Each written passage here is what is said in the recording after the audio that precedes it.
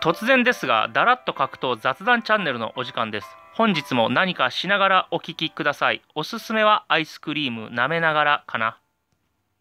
戦う弁護士の堀哲平さんがですね、朝倉兄弟と宮田和幸さん代表と武田浩二選手と自身の5人で会食に行ったというね動画をアップしてくれましてこれがまあなかなか面白かったわけですよ。まずね沈黙恐怖症とかってありますが人といる時にどれぐらい無言で耐えれるかと言いますと朝倉未来選手宮田和幸代表武田浩二選手ほぼね、一生大丈夫です。はい、ここはね、みんな落ち着いててですね、で、朝倉海選手はちょっとね、無言になったりすると、人に気を使って、質問とかね、してくれるような、ちょっと優しさが見えて、堀哲平さんもね、いろいろこう気にかけて話してくれるんですが、それがね、ストレスになった、なってるという感じではなく、昔のね、たけし軍団みたいにね、なんとしてでもこの場を盛り上げなきゃいけないみたいのはなくてですね、まあ、ちょっと今時感が感じて、そこもちょっと面白かったなというところなんですが、まずね、朝倉未来選手が、朝倉未来選手が、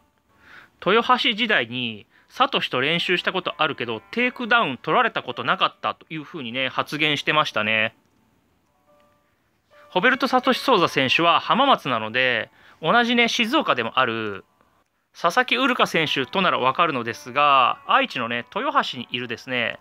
朝倉未来選手とどういうつながりがあったのかなというふうに思いましたが、まあ、空手禅道会ね、愛知でいるときはっていうところでやってましたが、そこにね、えー、外国人のね、あの、師範の方がいらっしゃったので、ちょっとブラジル人かどうか忘れましたが、そのつながりなのかなというふうにね、私の憶測ですが、まあそう思いましたね。そしてですね、そろそろクレベルと俺になりそう。次、クレベルとやりたい。その方が早いというふうにね、おっしゃっておりました。まあ、これについてはね、クレベル小池選手がですね、斎藤も朝倉も YouTube ばっかり、特に斎藤は逃げてばっかり、えー、チャンピオンベルトの後ろに隠れていると言っていて、斎藤選手、斎藤チャンピオンの方も、クレベル小池選手には対策をね、今現在練っている途中だということなので、えー、クレベル選手の望みはどうやら叶いそうですね、このうちのどちらかとやれるということで。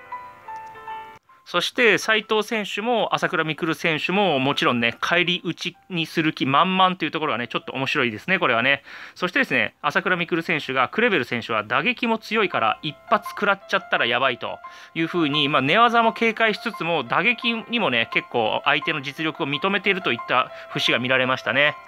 しかしですね、こういう話になったら当然なんだと思うところが出てきますよね。それをですね、堀さんが突っ込んでまして、え、何これワンマッチの話なのかな？みたいな感じで、フェザー級のグランプリでやるんじゃないの？みたいな感じで振ったら、朝倉未来選手が、いや、フェザー級グランプリやらないっぽいんで、つって人が集まってないんじゃないですかね、というふうに言ってましたね。なので、まあ、秋ぐらいからフェザー級グランプリ外国人も入れて16人っていう話だったんですが、それがもしかしたら消滅するかもしれないと。で、まあ、この一言だけから憶測するにというところで、ちょっととどめさせて、えー、いただきますね、ここは。そして朝倉海選手は井上直樹選手強いと思うけど課題評価だというふうに言っててやっぱ同じ階級でやってるだけあってここもねバチバチですね。ちなみにですね朝倉海選手がなぜ寄り目なんだっていうねえたまにコメントがつくんですがこれはね写楽の三世大谷鬼次のやっこ江戸兵衛っていうあの有名なあの浮世絵があるんですがあの写楽といえばこう寄り目ですよね。それを真似して描いたものなのでイメージして描いたものなので朝倉海選手だけ寄り目です。そして朝倉未来選手曰くムサ F とサトシならムサ F 勝ちそう。ムサ F 強い。10回やったら8回ムサ F ワンチャンでサトシかなという予想みたいですね。そして武田選手。サトシ・ソウザ選手に寝技だけだったら負けると思うとえ、そしてですね北岡選手の時と同じやり方で勝ちに行くと言ってましたね。もしサトシ・ソウザ選手とやるとしたら北岡選手と同じっていうことは北岡選手は寝技が得意であの時はね寝技にほぼ持ち込ませないような打撃でいく展開だったということで、まあ、同じような戦い方をして勝ちに行きたいというふうに言ってたんですが武田浩二選手も普段ねオファーが来たら誰とでもやりますって言ってたんですがムサイフとはやりたくないと言ってました。で朝倉未来選手もそれに続いてムサイフは体力がやばいというふうに言っててやっぱねムサイフチャンピオンにはそうですよね。ピットブル選手にま打ち勝ってましたしね。ちょっと段違いで強いのかなというふうにみんなが一目置いてる存在なだというのがねちょっと伝わってきましたね。でまああのサトシ・ソウザ選手に関しましては堀さんもねあのメンタルが弱いとか朝倉海選手も気持ちに左右されるというふうな評価をしておりました。はい、そしてですね先日事務所を退所したですね小倉優香選手なんですが 小倉優香選手ねあの優しいに香るっていう感じのえー、芸名だったんですが、今度はね、ひらがなの優香に改名したということで、まあ、読み方はね、俺ぐらい優香なんですが、漢字からひらがなにということで、今までね、ゆうこりんのゆうことね、紛らわしかったんで、こっちの方がいいかなというふうに個人的には思います。はい、そしてね、毎日記事になってくるコージ選手なんですが、これはですね、先日もね、先々日もお伝えしましたが、ジムのね、お披露目記者会見ですね、まあ、その中の記事の中にですね、まあ、以前からよく口にしていた、自分が K1 から来陣に来た目的の一つは、天心 VS タケル戦を実現させるためというふうに記事内にありまして、それをですね、見たですね、山崎秀明チャンピオンがですね、えこうつぶやいておりました、ツイッターで。コージのことを嫌いじゃないし、応援してるけど、君が移籍したことで2人の試合がどうこうなったのは関係ないと思うよ、笑いというふうに。えー、そしたらですね、これに対して、コージ選手がすぐね、返信しました。で、どういうふうに返信したかと言いますと、パイセン、ご無沙汰してます。音符。この音符はねよく使うんですが、えー、彼らに対して俺が関係してるなんてこれっぽっちも思ってませんよ。誰の力とかケツの穴小さい話どうでもええです。誰もが分かってる。彼らが背負って戦ってきたから。ただなかなか実現できないことを格闘技界のため選手を含めファンみんなでそれぞれ動いて応援できたら理想やなと思ってます。音符ということで、まあ、こういうこと書くと必ずね、コメント欄に答えになってないとか、いや、過去に、お前、確かに、俺が、あの、何、こ雷神に来たのは、タケルと那須川天心戦を実現させるためって言ってたじゃないかっていうコメントがつくんですが、これにはですね、スーパー芦澤竜星選手もこう答えてまして、以前の芦澤竜星選手は左側、ノーマル芦澤竜星選手ですね。で、矢口トレーナーのところから行って、覚醒した今が、まあ、スーパー芦澤竜星選手と勝手に呼んでるんですが、こちらもツイッターなんですが、ハッシュタグに、まあ、ここはね、あの、以前から言ってますが、笹原さんが岡サーファーってつけたので、シャープ岡サーファーになってますが、スーパー芦澤流星選手はここにね、シャープエンペラーってつけてたので、まあ、コージ選手に対するツイートだと思って、えー、聞いてもらっていいと思うんですが、あの人もバカじゃないから考えがあって行動してる。人のことをああだこうだ言うから人からああだこうだ言われるんだね。まあ、エンターテイナーとしては最前線走ってんじゃんというですね、まあ、お騒がせ男から正論マンへね、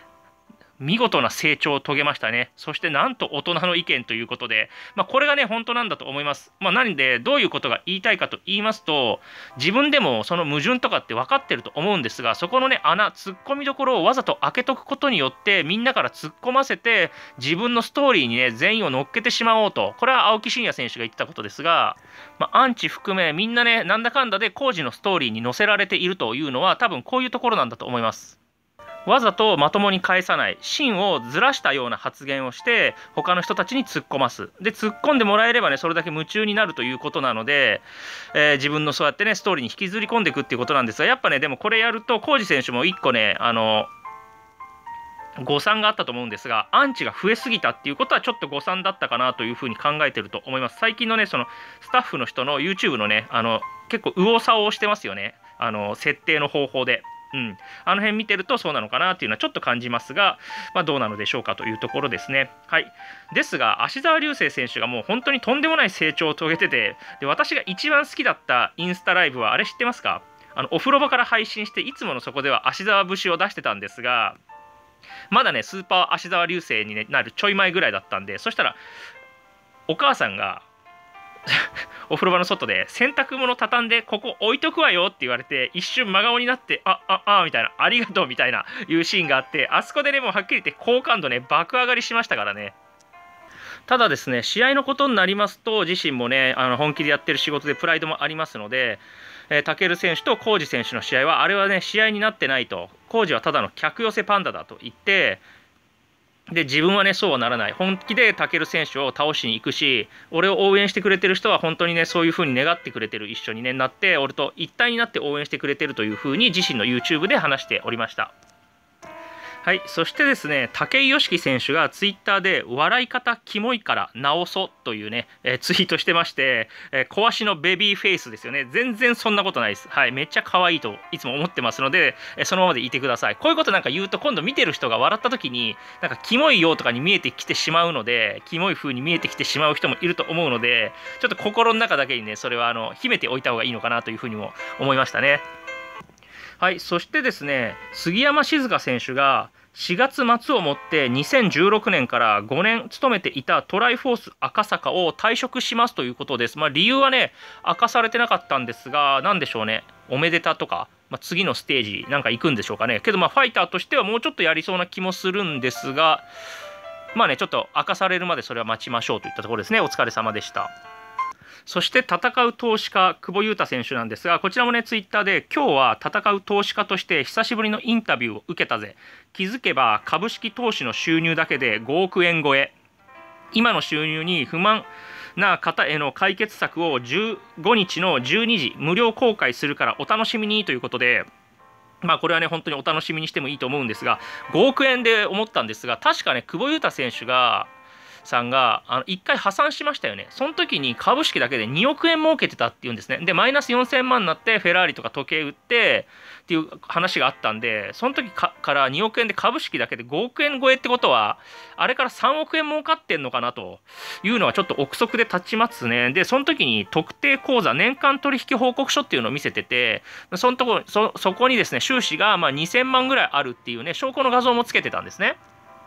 で、まあ、その金額はまあいいんですが、まあ、証拠となるところっていうのはやっぱ名前じゃないですか。で、名前のところはまあね、あの特定されるっていうところは隠しておいて名前だけは出してもいいじゃないですか。でもそれ見て思い出したんですが、まあ、ユータは出てるんですが久保のところが、まあ、モザイク処理というか、まあ、隠されてるんですね。でああそうだと思ったんですがそうなんですよ。久保優太さんって久保がねこれ名字じゃないんですよ。はい。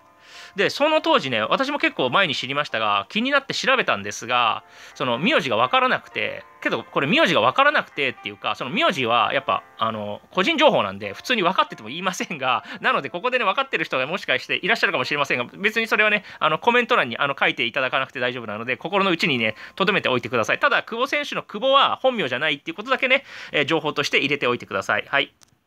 はい、それじゃちょっともう一個ね、久保裕太さんつながりでいきますと、久保裕太さんね、今、あの中井祐樹先生、パラエストラのね、総本部の東京のね、す、え、べ、ての生みの親ですよね、パラエストラの。のところで毎日ね、柔術の修行をまあなさってるそうなんですが、そこのですね、え中井祐樹先生のツイートなんですが、武田浩二選手に勝ってムサエフに負けたダミアン・ブラウンが新支部となったパラエストラクイーンズランドオーストラリア所属になりパラエストラグループ選手たちの同門になりましたと。いうことです。なので、まあ、パラエストラ松戸はね、パラ松とか、パラエストラ八王子はパラ八って呼びますが、これで言えばですね、パラストラリアですね、オーストラリアなので、えパラストラリアのダミアン・ブラウン選手が爆誕したということです。はい、そして話題はも戻って青木真也選手。自転車の違反で切符切られたということで詳細は5月にノートで書くよとノートにも結構ね青木真也選手力入れてますので興味のある方はそちらもぜひかなり濃い内容になってますので。はい、そしてですね、私の大好きなね、小木ちゃん、大井久保選手なんですが、1個ね、個人的にすごい腑に落ちたことがありまして、まあ、それが何かと言いますとですね、大井久保選手が、去年のね、年末のちょい前に滝沢選手と戦いましたよね。で、その試合の後にですね、で、同じ日にですね、まあ、すぐ YouTube ライブやったんですね。で、その中で、えこの後、年が明けたら、なので去年なので今年になったら、まあ、重大報告がね1個ありますと重大発表がありますって言っててそれがずっと発表されないまま来たんですよ。はい、でこれ何かなと思ってたんですが、まあ、シュートのベルト返上したじゃないですかでもあれは今回のグランプリやるっていうことで、まあ、1年間はグランプリにつきっきりになるので防衛戦ができないっていうことで、えー、返上したんですねでついこの間1ヶ月ぐらい前かな。から2か1ヶ月か2ヶ月ぐらい前に小木ちゃんに100個の質問っていうのがあってその時はまだねシュートのベルトをあの防衛していく気持ちがあると。で最終的にはね平達郎選手同じ同門なんですが同じ階級のねただいま9連勝中のね選手がいるんですが、まあ、ほぼほぼね仲間だと考えていいんですがその選手とも全然タイトルマッチやる気もあるっていう風にね語ってたんですね。なのでその年末で言うとね時系列でおかしいんでシュートのベルト返上じゃないわけですよ。そしたら何かと言いますと昨日ね小木チャンネルのサブの方で引っ越ししましたっていうね動画上げまして引っ越ししたのはまあ随分前なんですが昔に撮ったやつ上げて彼女と同棲をするってことだったんですね。はい。その前に結婚するんですかっていう質問されてていや結婚じゃないって言ってたんでその滝沢選手終わりの YouTube ライブでは結婚じゃないって言ったんで、なんだろうと思ったら引っ越し同棲だったということがね、まあそこで分かったということが、まあ個人的に腑に落ちたということです。これね、意外とずっと気になってたんで、まあ分かってよかったです。そしてですね、小木ちゃん、ろくでなしブルースのね、えー、関する思い出話をするね、動画を上げるって言ってたんですが、あれは一体いつになるんでしょうか。こっちもね、ずっと楽しみに待っております。そしてですね、ちょっとどうしても言いたいことが最後に一つということで、ムサマサチャンネルのこれね、武蔵選手なんですが、正人選手が小比類巻選手と戦った時に、その時ね、正人選手は反逆のカリスマということで、当時なんか夜結構飲み歩いたりとかしてて、全然練習してねえよっていうキャラを装ってたんですね。それよく覚えてるんですが、で、小比類巻選手はミスターストイックって言って、お線香とかをこう束にしてこう皮膚にグーって当てたりとかするこう結構根性系のトレーニングというか、えー、まあ精神の鍛え方もねそこの道場でしていたっていうことで小比類選手選手を応援してる人が多かったんですが正人選手が、えー、勝った時にですね